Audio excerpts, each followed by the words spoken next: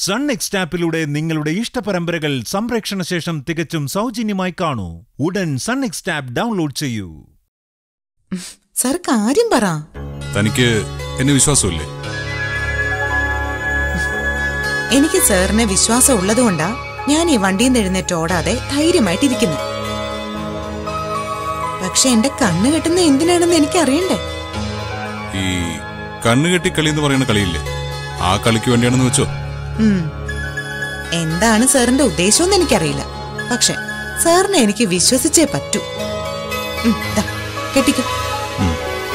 തിരിഞ്ഞു.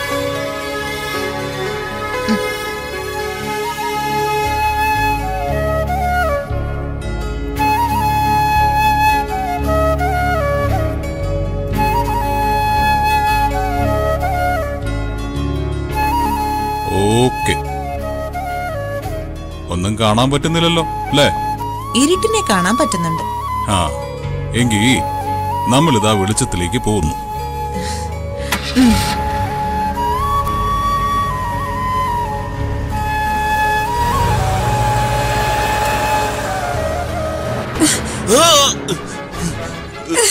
അമ്മയുടെ മാതൃ ചേച്ചിയുടെ മുന്നിൽ വെച്ച് എന്നെ നാണം കെടുത്തി ഇപ്പൊ തൃപ്തിയായില്ലേ? ഏ? അയ്യോ മധു എനിക്ക് ഭയങ്കര അതിശയമായിരിക്കുക ഞാൻ കണ്ട രേഖ ഇതല്ല. ആ രേഖ ഇങ്ങനെയല്ല. കണ്ട ഇതുപോലെയാ. പക്ഷെ ഇതല്ല. വസന്തേട്ടാ ഇതവൾ നമുക്കിട്ട് പണി തന്നതാ. പണി പാലും വെള്ളത്തിൽ കിട്ടിയെന്ന് പറയുമല്ലോ. അതിതാ. ഒടുക്കത്തെ പണിയായി പോയി. എന്തായാലും എന്റെ ജോലി കാലാവധി കഴിഞ്ഞു. വസന്തേട്ട നോക്കിക്കോ. പഴയതിലും ഇരട്ടിയായിട്ട് ഞാൻ അവളെ ഒതുക്കും. മധു ഞാനേ തുറന്നു പറയാ. നമ്മളെ കൊണ്ട് അത് നടക്കുമെന്ന് തോന്നുന്നില്ല.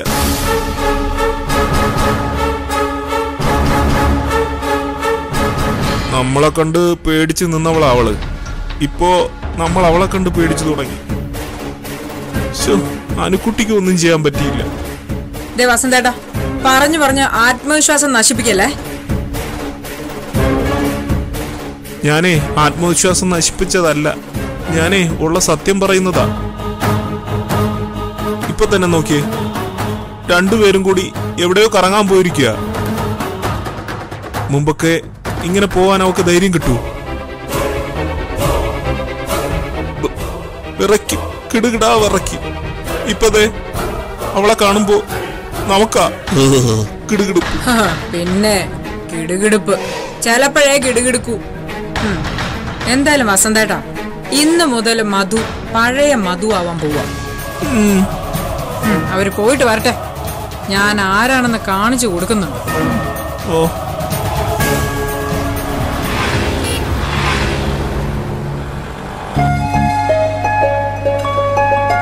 ആ ജോർജൂട്ടി ഓ എന്താ സാർ?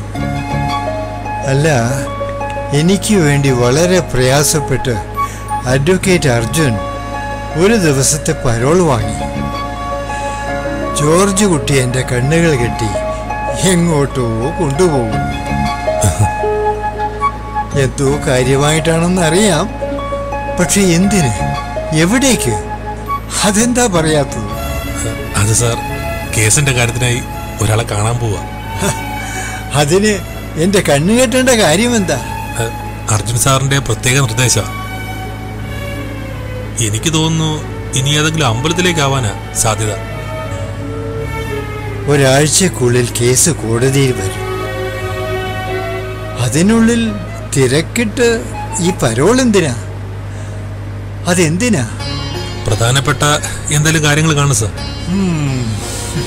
എന്തായാലും ഇത് വളരെ വിചിത്രമായിട്ടാ തോന്നുന്നത് ആ ജോർജ് കുട്ടി. എന്താ സാർ? ചോദിക്കുന്നത് ചിലപ്പോൾ അവിവേകമായിരിക്കും.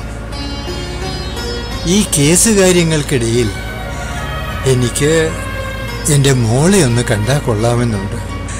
അത് സാധിക്കൂ അയ്യോ സാർ ഒന്നാമത് കേസുകാര്യവും കുടുംബകാര്യവും കൂട്ടിക്കുഴയ്ക്കുന്നത് അർജുൻ സാറിന് തീരെ താല്പര്യമില്ല. ആ ശരി. എങ്കിലത് പോട്ടെ. ഇപ്പോ എങ്ങോട്ടാണ് പോകുന്നത്? അതെങ്കിലും ഒന്ന് പറ. അത് പറയാൻ എനിക്ക് അനുവാദമില്ല സാർ.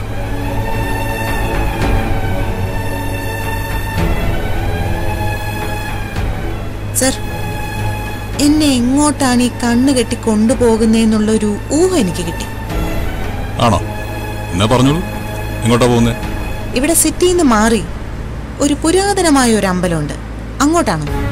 ആകാം ആകാതിരിക്കാം. ഒന്ന് പറ സാറേ.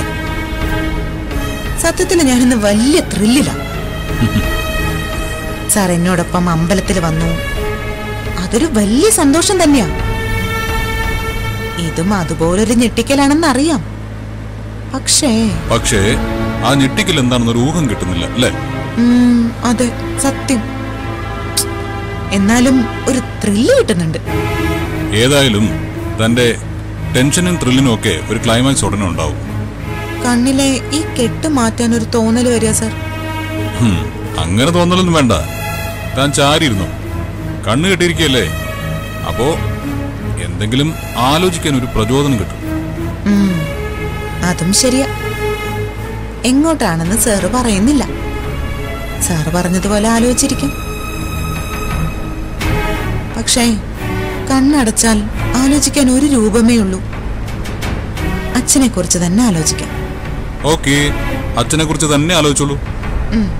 അച്ഛാ ദേ സാർ എന്നെ കണ്ണ് കെട്ടി എങ്ങോട്ടോ കൊണ്ടുപോവാണ്. അപകടത്തിലേക്കാണോന്നൊന്നും അറിയില്ല. രക്ഷിക്കണേ അച്ഛാ. ഞാനേ അച്ഛനെയും ആലോചിച്ചിരിക്കുവാണേ. അച്ഛാ.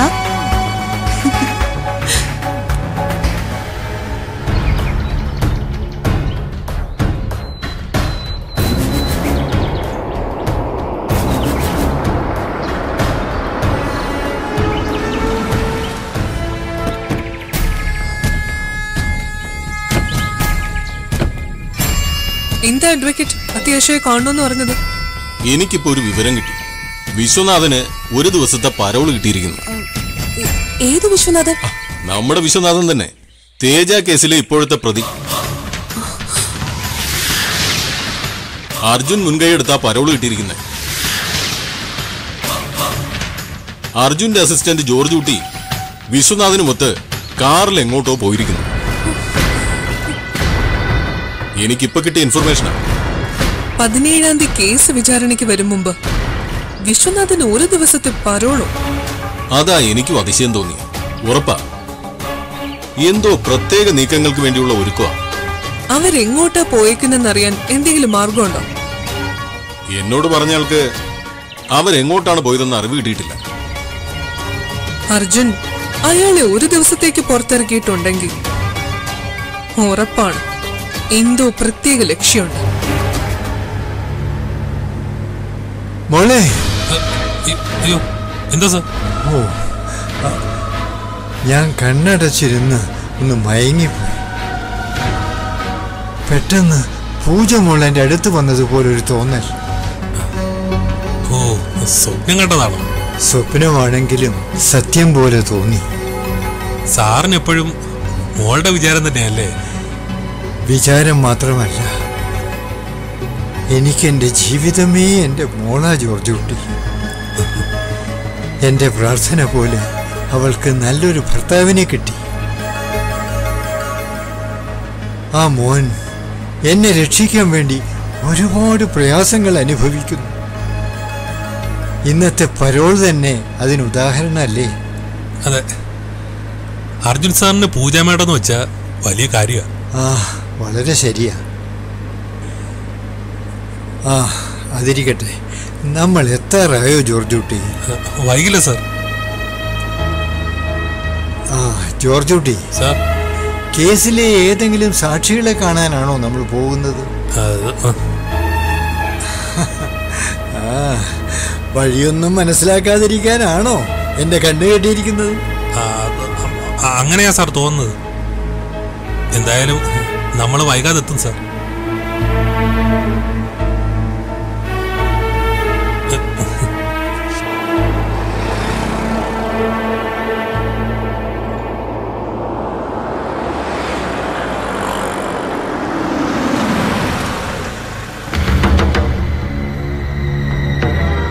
എന്താ സാർ കാറ് നിർത്തിയത്? ആ നമ്മൾ ഇവിടെ ഇറങ്ങാം. സാർ പ്ലീസ് ഒരു ക്ലൂ തരൂ. നമ്മൾ എങ്ങോട്ടേ പോകുന്നേ? എന്തിനാ പോകുന്നേ? ഒന്ന് പറയൂ സർ. ടെൻഷൻ അടുപ്പിക്കാതെ. എടോ താൻ വിഷുവിന് എന്റെ കണ്ണു കെട്ടിയല്ലേ കൃഷ്ണനെ തൊഴിക്കാൻ കൊണ്ടുപോയത്? അതുപോലെ ഒരു ഭഗവാനെ കാണിക്കാൻ കൊണ്ടുപോവാ. താനേ ഇരുന്നു ഞാനേ തന്നെ പിടിച്ചെടുക്കാം അല്ല കാണിക്കുന്ന ദൈവം ഏതാണ്?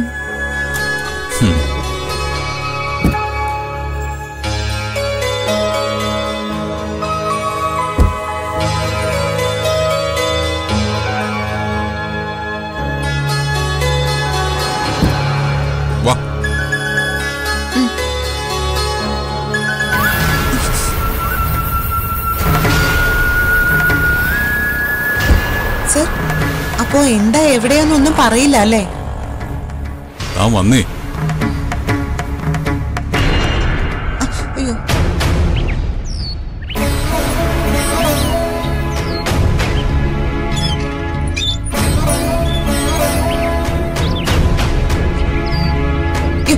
ശ്രദ്ധിച്ച്.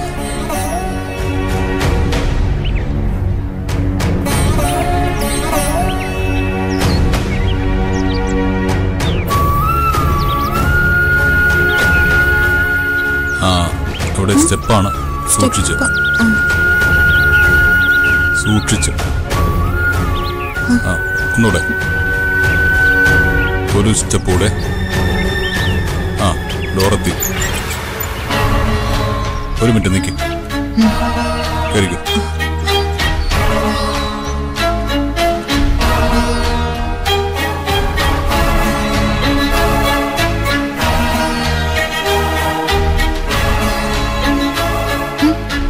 ഇവിടെ ഇവിടെ. സാറേ നമ്മൾ എവിടെ എത്തി? കെട്ടഴിക്ക് സാറേ. ആ ഒരു മിനിറ്റ്. നമ്മൾ ഇങ്ങനെ നിൽക്കുന്നു എന്നിട്ട് കെട്ടഴിക്കുന്നു. ഒരൊറ്റ മിനിറ്റ്. സാർ എനിക്ക് കെട്ടഴിച്ചിട്ട് ചുറ്റും നോക്കാൻ ടെൻഡൻസി വരുന്നു. സാർ എവിടെയാണെന്നൊന്ന് പറയണം സാർ. പ്ലീസ്.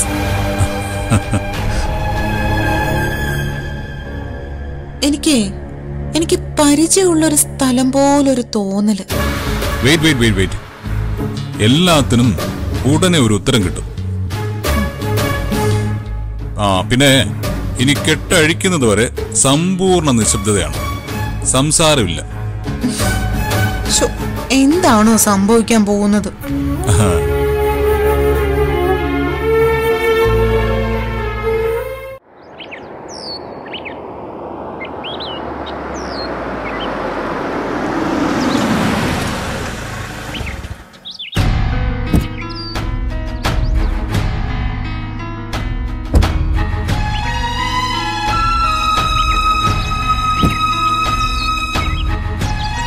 വരണം സാർ.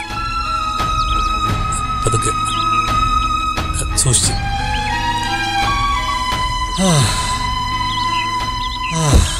ആ. ജോർജ് കുട്ടി ഇനിയെങ്കിലും ഒന്ന് പറ. നമ്മൾ എങ്ങോട്ടാ പോകുന്നത്? അതൊക്കെ ഇപ്പൊ കാണാം സാർ. ഉടനെ കാണാം. നമ്മളത് നമ്മളിതേ എത്താറായി. എന്നെ പരോളിലിറക്കി കേസിന്റെ കാര്യത്തിനായി കൊണ്ടുപോകുമ്പോൾ അതെനിക്ക് സന്തോഷവും സമാധാനവും തരുന്നത് തന്നെയായിരിക്കും. പക്ഷേ ഇതെവിടെയാണെന്നൊന്ന് പറ. സാർ സാറ് വരൂ. സാറേ ഇനി വർത്താനം പറയരുതേ. നിശബ്ദത. എന്തായാലും നടക്കാൻ പോകുന്നത് എന്താണെന്ന് വൈകാതെ തന്നെ കാണാമല്ലോ. ആ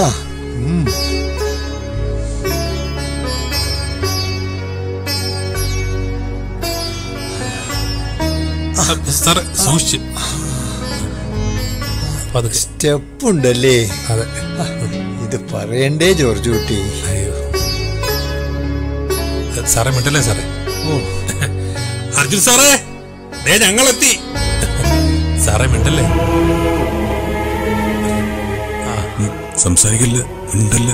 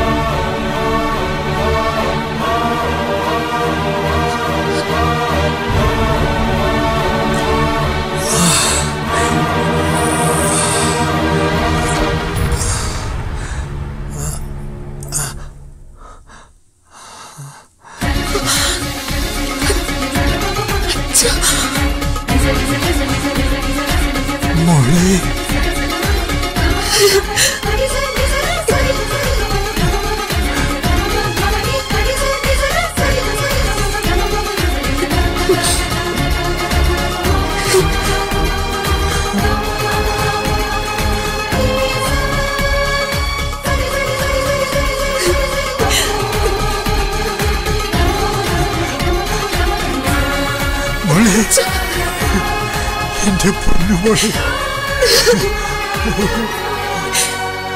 ദൈവത്തെ പോലെ ഒരാളെ കാണിച്ചു തരാന്ന അജുവേട്ടൻ പറഞ്ഞത്.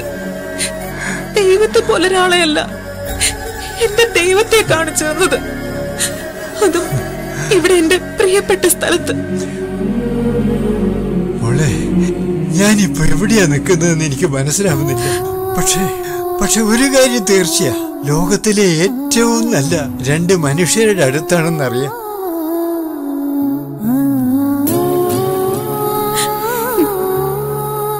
ഇന്നലെ വരെ എന്റെ ജീവിതത്തിലെ ആദ്യത്തെ ആൾ എന്റെ മോളായിരുന്നു. ഇന്നിപ്പോ ആ സ്ഥാനത്ത് രണ്ടു പേരാ. എന്റെ മോളും മോളുടെ ഭർത്താവ് അർജുനും.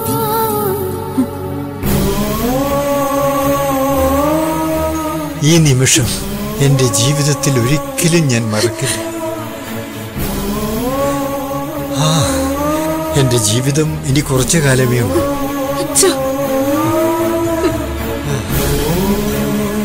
പക്ഷേ ആ കുറച്ചു കാലം ഇനി എന്നെ ജീവിപ്പിക്കാൻ പോകുന്നത് ഈ ദിവസത്തെക്കുറിച്ചുള്ള ഓർമ്മകളായിരിക്കും.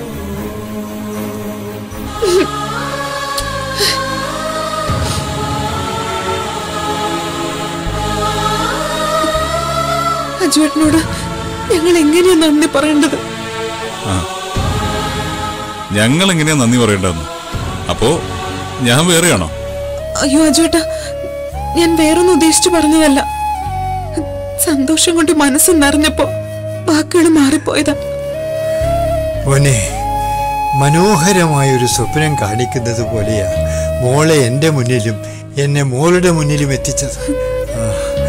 ഇനി ഒരാഗ്രഹം കൂടിയുണ്ട്. എന്താണ് സർ? എനിക്ക് സ്നേഹസദനത്തിലെ ബാക്കിയുള്ളവരെ കൂടി ഒന്ന് കാണണം. അതിനുള്ള ഒരു സാഹചര്യം സൗകര്യം പോലെ ഒരുക്കി തരണം. എല്ലാവരും ഇവിടെ തന്നെയുണ്ട്. അച്ഛൻ വന്നേ.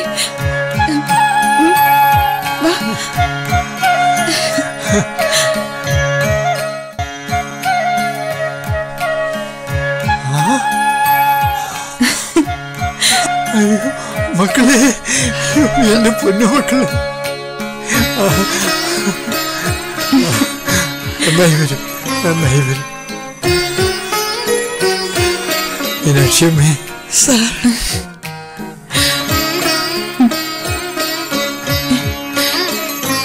എനിക്കൊന്നും മനസ്സിലാകുന്നില്ല ഞാനിപ്പോ എവിടെയാ?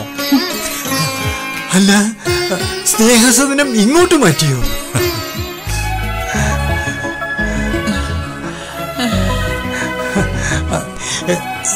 എന്താ? ഇത് പൂജമോളി ഞങ്ങൾക്ക് വേണ്ടി ഉണ്ടാക്കി തന്ന സ്നേഹസദനം.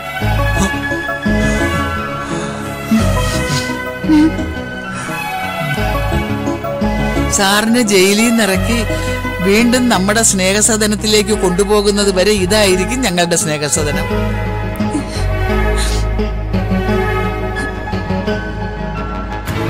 സർ അച്ഛന് ജാമ്യം കിട്ടിയോ? എങ്ങനെ അച്ഛൻ ഇവിടെ എത്തി?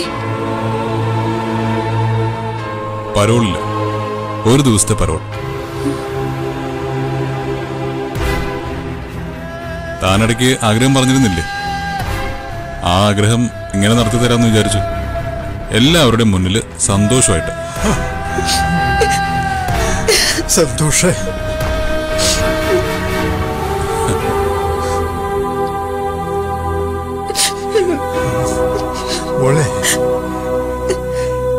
ഈ ലോകത്തിലെ ഏറ്റവും വലിയ നിർഭാഗ്യവാൻ ഞാനാണെന്ന ഇതുവരെ വിശ്വസിച്ചിരുന്നത്.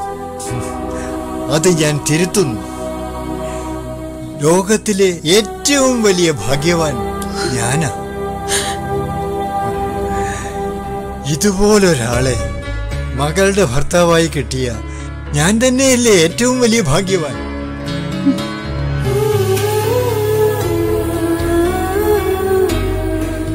ഏറ്റവും ഭാഗ്യമുള്ള പെൺകുട്ടി.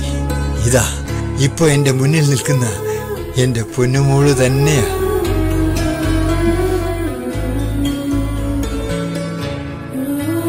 മോളുടെ ഭർത്താവായി വരേണ്ടയാൾ എങ്ങനെ ആയിരിക്കണമെന്ന് ഞാൻ മുൻപ് മനസ്സിൽ കണ്ടിരുന്നു.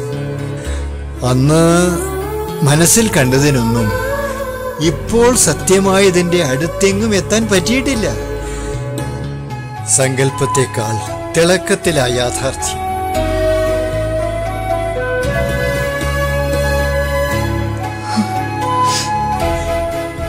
ഇനി ജയിലിൽ നിന്ന് പുറത്തിറങ്ങിയില്ലെങ്കിലും സാരമില്ല. കാരണം സ്നേഹസദനത്തിലെ ആരും ഇനി ബുദ്ധിമുട്ടിലാവില്ല എന്ന് ഉറപ്പായി.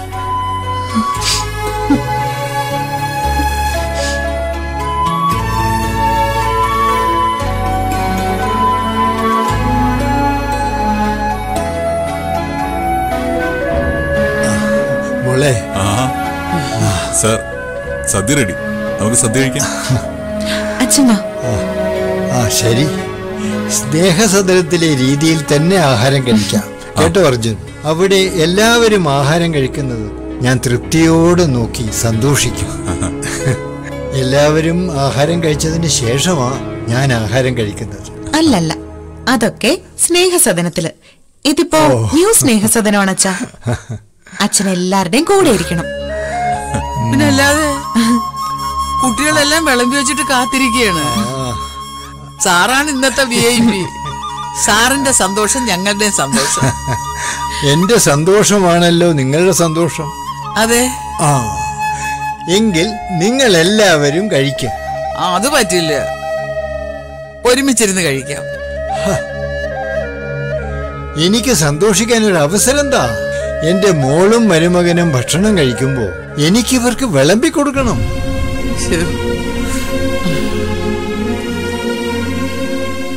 ഇന്നത്തെ എന്റെ ഏറ്റവും വലിയ സന്തോഷം അതാ